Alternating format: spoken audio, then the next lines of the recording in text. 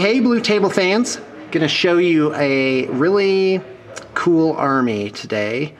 And this is actually take two. I had the artist with me for a little bit, but uh, he had to go and during the first take I realized that all the magnetized weapons were on and so I've just uh, decided to uh, take another run at it. So what we have for you today, this little nugget of eye candy, is a Dark Eldar slash Eldar army, presumably uh, using allies. And uh, what you've got is, here, let me just show you some of the magnetization. So you've got Raiders here. And um, so the front point is magnetized. BTP buys magnets by like the thousands. Uh, typical magnet order is, well, it can be as high as 3,000 magnets. So we have a lot of magnets on hand and magnetization really is a specialty of ours and uh, one of the one of the great strengths of the studio if you ask me. So all these sails have been magnetized on and uh, client requested these certain color sails and you know this um, sort of Eldari runic stuff. Um, and so obviously it's uh, red and blue uh, the client requested that it be uh, that the two colors be relatively balanced and uh, green is an accent, and it's you know, it's hard to get red and blue to play together, but this red is uh, shaded up from uh, scarlet to gore to in the recesses you can see a pretty smooth transition to almost a black color there. And uh, I, I, I, think it works uh, really well. So anyway, Green is a highlight, I think, uh, gives it some pop and ties everything together.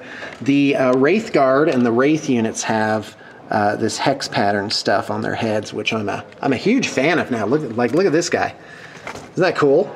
Oh my gosh, that, that makes me happy just looking at it. You got some glowy stuff, and it's because the reds are so dark and the blues are also uh, almost go to black at certain points, but they, they also go up to uh, Vallejo sky blue uh, as well. So um, this is, yeah, this is what the army looks like. Oh, did want to show these Kabalite warriors. And also, in a unit of 10 of them, you only get one blaster. So uh, a good conversion, in my opinion, is you cut off a splinter rifle right there. And then these are the extra engines from a from like a Raider kit. So you'll actually end up with some extras of those and uh, it's really it's really not not too bad. So uh, okay, over here you've got the Wyches. Again, these are like red with blue, and uh, this color scheme is client client request. He had some certain uh, ways that he that he wanted it done. And of course, a ton of magnetization on here. The magnetized pieces are kind of like all over, like right here. Uh, these are for uh, the venoms, no doubt. In fact, let's take a look at the bottoms of those. Uh, yep, that's, uh, that's where they go. There's like a little round spot for the magnetized pieces. So anyway, um, the Wraith Lords actually have quite a few different, uh, I mean, they've got some freehand, the hex thing on them, and also, um, uh, but the hand is a magnetized point. There's two up top, and then there's one each on the, uh, on the wrists here. So, um, Okay, well, that is yet another army coming out from Blue Table Painting.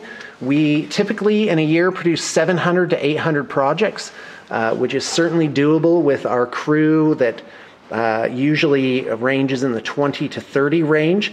And I got to tell you, it has been my privilege and pleasure to run this studio these many years. It certainly has its, uh, it has, uh, you know, some stresses um, handling that many projects and with uh, that many people. But I got to tell you, I love coming here every day. It's a beautiful place, and uh, there's always something new to see. And I want to thank all of you for coming along for the ride.